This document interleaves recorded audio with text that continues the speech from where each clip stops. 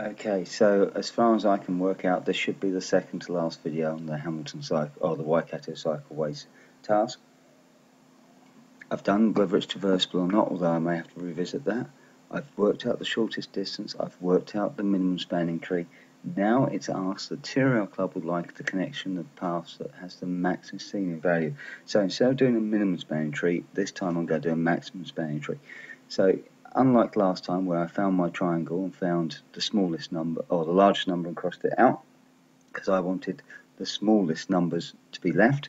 This time I'm going to find the smallest number and cross it out. So 6, 10, 9 and 3 I'm going to cross out the 3 10, 8 and 4 crossing out the 4 uh, 9, 8 and 5 I'm crossing out the 5 now at this point I do have a bit of a problem because I've got Matamata, Hamilton and Te Awamutu joining up to Cambridge so I can get rid of that one.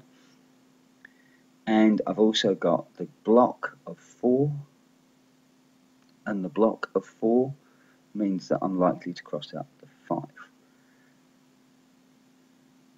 still got a bit of a block. Let's go around here. Uh, I can get rid of the 4 I'm going to get rid of the 3 from this triangle. So now I'm left with Tokoroa, Takiti, Te Awamutu, Hamilton, Matamata, Tirau, Tokoroa joined up and therefore I'm going to get rid of the 2 because that's the smallest number. And much same as last time now I'm going to draw out a new map. So I've got my Hamilton, my Matamata, my Cambridge, my Awamutu, my Tirau, my Tokoroa, my Tikiti, and my Taupo, and my Pionia, and that's 8, 6, 9, that one's 10 that's 10 that's 9 and that's 7 and therefore if I add those up the total of those is a scenic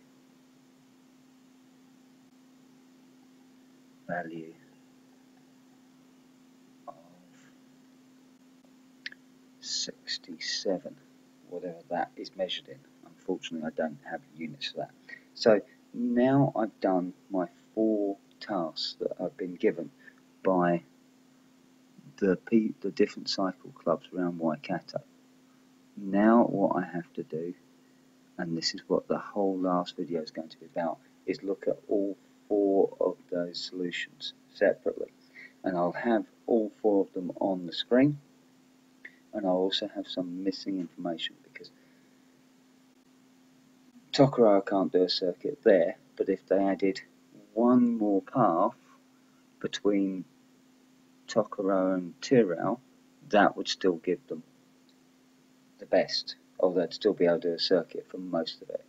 I've still got the problem that Hamilton, Cambridge, Tirau, Tokoroa, Taupo was the shortest path, but that hasn't appeared on my maximum spanning tree of scenic value. And my result for my maximum spanning tree of scenic value is different from my maximum spanning tree of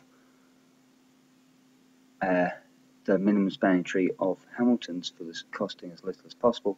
So this is where we I've done achieved, which is doing two tasks, probably including the shortest route and the minimum spanning tree, or the shortest route and the or the traversability and the minimum spanning tree, or you know something like that. To get merit, I'd have to have done two of those skills and start to be talking about, or three of those skills and start to be talking about what it means.